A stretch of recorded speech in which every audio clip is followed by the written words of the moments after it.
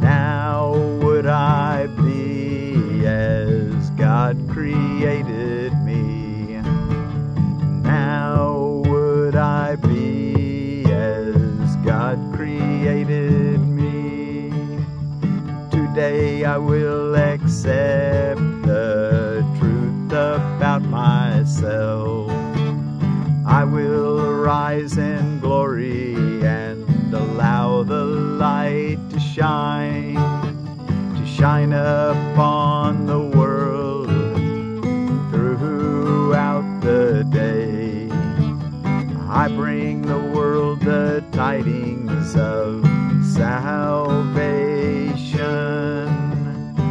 which I hear as God my Father speaks to me. And I behold the world that Christ would have me see, where it ends the bitter dream, the bitter dream of death where it is my father's call, my father's call to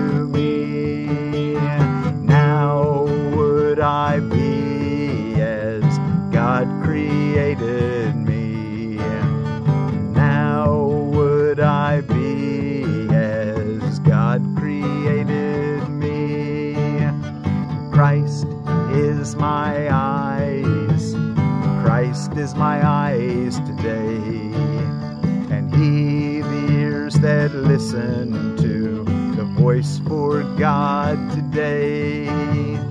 Father, I come to you through Him who is your Son, and my true self, my true self as well.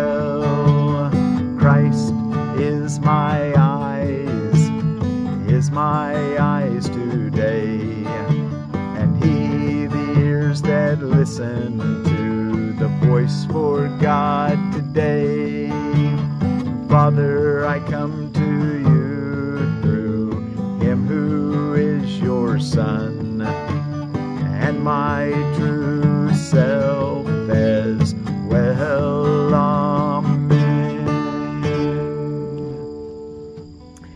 thank you all so much for joining me today and studying A Course in Miracles. We're reading from the Foundation for Inner Peace version of A Course in Miracles. I'm Miracle Willie, forgiveness teacher from the Ozarks, and we're ready for lesson 237. Now would I be as God created me, here on Saturday, August the 24th of 2024. Now would I be as God created me. Today I will accept the truth about myself. I will arise in glory and allow the light in me to shine upon the world throughout the day. I bring the world the tidings of salvation which I hear as God my Father speaks to me. And I behold the world that Christ would have me see. Where it ends the bitter dream of death. Where it is my Father's call to me. Now would I be as God created me. Christ is my eyes today, and He the ears that listen to the voice for God today. Father, I come to you through Him who is your Son, and my true self as well. Amen. Okay, well, let's be listening to to God through the through the ears that Christ has given us and through the eyes that Christ sees. Let's look at the whole world that way and see a world redeemed from sin and death and alive in holiness, in oneness, and love. Uh, today we're ready in the text reading to read, and we're in chapter 26, the transition, and we're ready for section 3, the borderland. And so while you're uh, going to the to the borderland, I'd love for you to follow along if you can. Um, and if, if you don't follow along while I read it, I would encourage you to go back and, you know, unless you're unless you're not able to for some reason, can't read or you're blind or something, and then just listen to me and listen to it enough times to it really sinks in. But if if you if you're able, um, getting as many senses as possible and reading the lesson while I'm reading it or after I've read it at another time during the day, perhaps, um, I would encourage that. Um, maybe have a little marker and mark things that really speak to you so you can go back and look at them again. Now would I be as God created me. Okay, and then what's going on around the world? It's can opener day. And the can opener, you know, the can was invented first, and then oh, I think it was around 50 years later they invented the can opener in 1858. And before that, you used a chisel and a hammer to open a can, I guess. International Day Against Intolerance, Discrimination, and Violence based on musical preference, lifestyle, and dress code. Now that's a long one. Of course, we don't want to have, uh, we don't want to, we don't want to be against anything. We want to be, you know, I guess we just want to recognize what's not true and don't give it any energy. If you go against it, you're basically saying it's real and you've got to fight against it. We don't want to do that. But it is nice to accept people for the way they want to live based on their dress code, their lifestyle, their musical preferences. Okay, so we don't want to discriminate. Uh, let's see, International Strange Music Day, Knife Day, uh, Peach Pie Day, make pie out of the Prunus persica, uh, Waffle Day and Waffle Iron Day, Pluto Demoted Day, and that's when the International Astronomical Union uh, demoted Pluto from a planet to a uh, I don't know what they demoted it to, maybe an asteroid or something. I, am I'm, I'm not exactly sure what they call it now. Uh, but it uh, there is some argument on whether they should have demoted it, I guess. And it that that happened in 2006 on this day. Uh, shooting Star Day. That's I look for a shooting star. Uh, Vesuvius Day. Vesuvius, the volcano, erupted in 79 AD. Uh, Wayzgoose Day. Uh, you know, I, I got the idea that was um, happened on the St. Bartholomew's Day, and it's at the end of summer, and it's uh, where you're getting ready to do your work by candlelight. Uh, if you're a, a, printer, and the, and the printers were the ones that uh, they held a feast called Wayzgoose, and it was usually paid for by the, the printers uh, because they are the ones that needed a little bit of light, I guess. Uh, they, they'd have a goose and, and cook it. And that's how it got the name Ways Goose. You'd come a ways and eat a goose.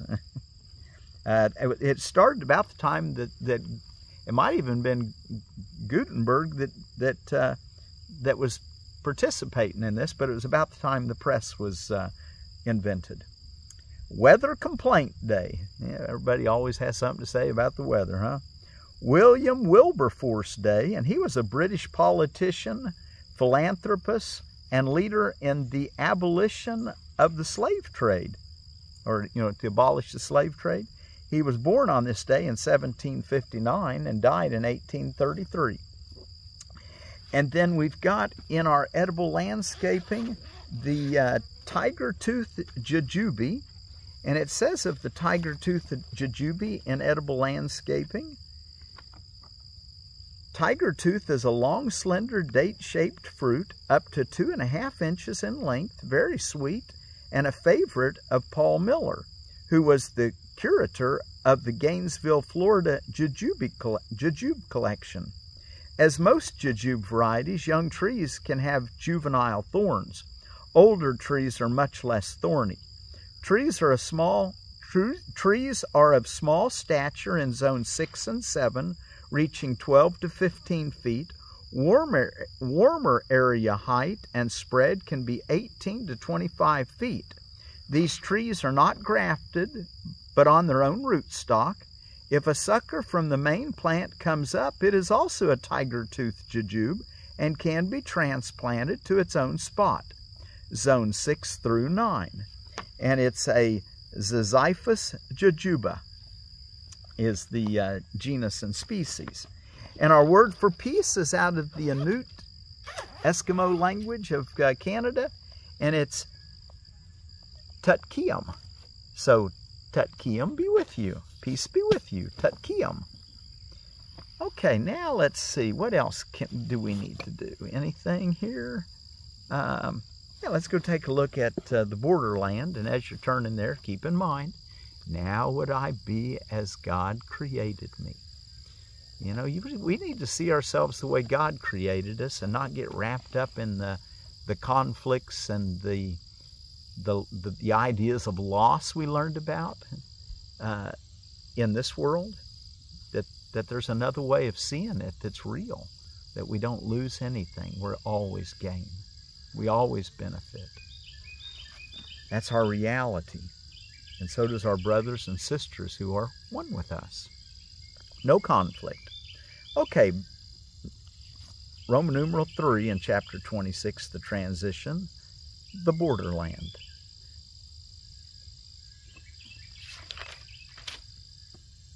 Complexity is not of the ego.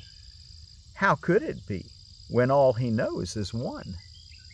He knows of one creation, one reality, one truth, and but one Son. Nothing conflicts with oneness. How then could there be complexity in Him, in God? What is there to decide? For it is conflict that makes choice possible. The truth is simple. It is one without an opposite. The truth is simple. It is one without an opposite. And how could strife enter in its simple presence and bring complexity where oneness is? the truth makes no decisions for there's nothing to decide between. and only if there were could choosing be a necessary step in the advance toward oneness. What is everything leaves room for nothing else. Yet is this magnitude beyond the scope of this curriculum. Yet is this magnitude. What's this magnitude? What is everything leaves room for nothing else. Yet is this magnitude beyond the scope of this curriculum. Nor is it necessary we dwell on anything that cannot be immediately grasped. Wow. So the oneness of our identity is beyond the curriculum, but this curriculum leads us to the gate where we enter in to this oneness. It, it, it, it, it's what we're learning is in the world of perception where opposites seem real and where we, uh, we choose based on what's, what is harmless, what is forgiving, what is loving, and, and we move into higher realms of our own awareness as we do that, our oneness. Paragraph 2. There is a borderland of thought that stands between this world and heaven. It is not a place, and when you reach it, it is apart from time. Here is the meeting place where thoughts are brought together, where conflicting values meet, and all illusions are laid down beside the truth, where they are judged to be untrue. This borderland is just beyond the gate of heaven. Here is every thought made pure and wholly simple. Here is sin denied, and everything that is received instead. Here is sin denied, and everything that is received instead. So we're learning to deny sin um, and, and recognize that the only reality is God's oneness. Paragraph 3 This is the journey's end. We've referred to it as the real world, and yet there is a contradiction here, in that the words imply a limited reality, a partial truth, a segment of the universe made true. This is because knowledge makes no attack upon perception. They are brought together, and only one continues past the gate where oneness is. Salvation is a borderland where place and time and choice have meaning still, and yet it can be seen that they are temporary, out of place, and every choice has been already made. 4. Nothing the Son of God believes can be destroyed, but what is truth to him must be brought to the last comparison that he will ever make, the last evaluation that will be possible, the final judgment upon this world. It is the judgment of the truth upon illusion, of knowledge on perception. It has no meaning and does not exist. This is not your decision. It is but a simple statement of a simple fact. Let's go back and look at that again before we finish this paragraph. Nothing the Son of God believes can be destroyed. Nothing the Son of God believes can be destroyed. But what is truth to him must be brought to the last comparison that he will ever make, the last evaluation that will be possible, the final judgment upon this world. It is the judgment of the truth upon illusion, of knowledge on perception. It has no meaning and does not exist. This is not your decision. It is but a simple statement of a simple fact. But in this world there are no simple facts, because what is the same and what is different remain unclear. The one essential thing to make a choice at all is this distinction. The one essential thing to make a choice at all is this distinction. And herein lies the difference between the worlds. In this one, choice is made impossible. In the real world, is choosing simplified. Paragraph 5. Salvation stops just short of heaven. So the real world where choosing is simplified is stops just short of heaven. For only perception needs salvation. we start learning that there's lots of forms of, of, uh, of, of conflict, but they're all forms. Underneath it is the illusion of loss. And once we realize that, well, then we just start making the only choice there ever was to make choose for our peace and the abundance of God. Salvation stops just short of heaven, for only perception needs salvation. Heaven was not lost, and so cannot be saved. Heaven was never lost, and so cannot be saved. Yet who can make a choice between the wish for heaven and the wish for hell, unless he recognizes they are not the same? This difference is the learning goal this course has set to, to see the difference between heaven and hell. Uh, the idea of loss and abundance, the idea of sinlessness and sin, or holiness and uh, unholiness or sin. Salvation stops just short of heaven, for only perception needs salvation. Heaven was never lost, and so cannot be saved. Yet who can make a choice between the wish for heaven and the wish for hell, unless he recognizes they are not the same? This difference is the learning goal this course has set. It will not go beyond this aim. Its only purpose is to teach what is the same and what is different, leaving room to make the only choice that can be made. Paragraph 6. There is no basis for a choice in this complex and overcomplicated world, for no one understands what is the same and seems to choose where no choice really is. The real world is the area of choice made real, not in the outcome, but in the perception of alternatives for choice.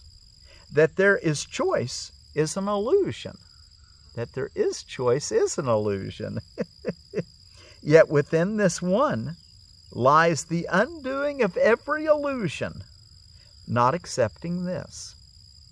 So you can practice forgiveness of this, um, and that's what we want to do. That there is a choice is an illusion. Yet within this one lies the undoing of every illusion, not accepting this. And I think the last paragraph is number seven. Is not this like your special function where the separation is undone by change of purpose in what once was specialness and now is union? all illusions are but one, and in the recognition this is so lies the ability to give up all attempts to choose between them and to make them different. How simple is the choice between two things so clearly unalike, truth and illusion? there is no conflict here. No sacrifice is possible in the relinquishment of an illusion recognized as such, where all reality has been withdrawn from what was never true. Can it be hard to give it up and choose what must be true? Where all reality has been withdrawn from what was never true, can it be hard to give it up and choose what must be true? he's just helping, he's just wanting us to see that, that all these myriad of choices and forms of nothingness are just that, nothing.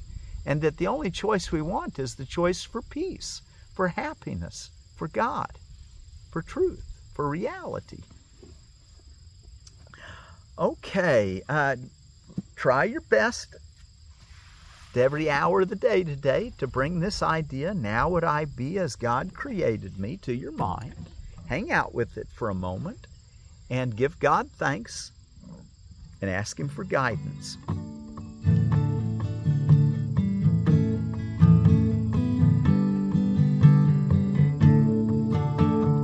How would I be as God created me. Now would I be as God created me. Today I will accept the truth about myself. I will arise in glory and allow the light to shine, to shine upon the world throughout the day. I bring the world the tidings of salvation, which I hear as God my Father speaks to me. And I behold the world that Christ would have me see, where it ends the bitter dream, the bitter dream of death, where it is my Father's call, my Father's call to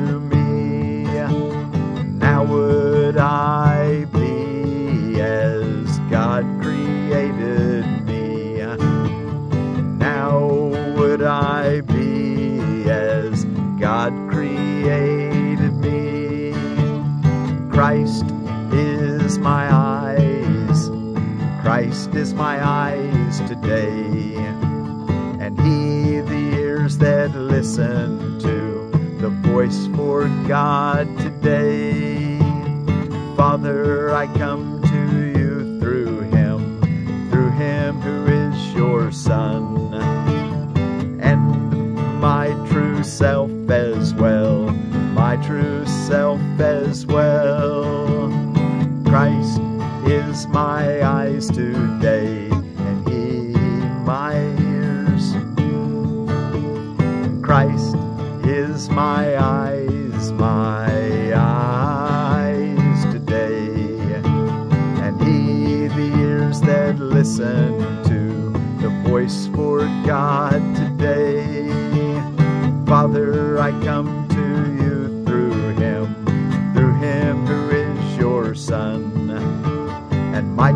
true self as well. Amen. Amen. What is, what is salvation? What is salvation? Salvation is a promise made by God that you would find, find your way, find your way to Him at last. Salvation is undoing in the sense that it does nothing,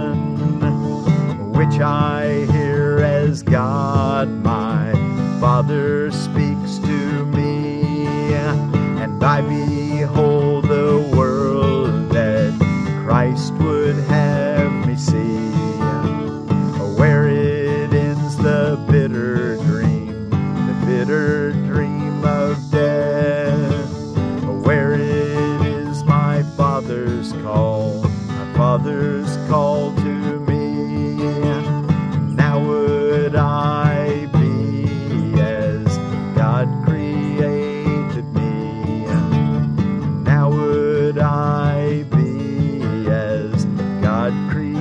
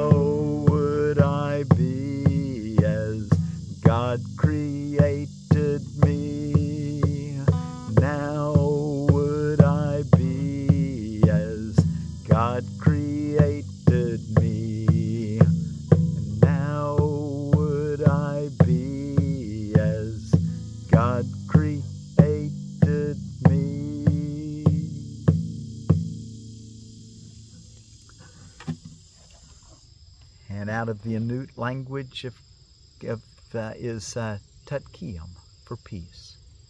Now would I be as God created me. Tutkium. Be aware that you are as God created you and claim it, be it. See the holiness in yourself and your brothers. See your unlimited expansiveness. Now would I be as God created me. Tatkiam.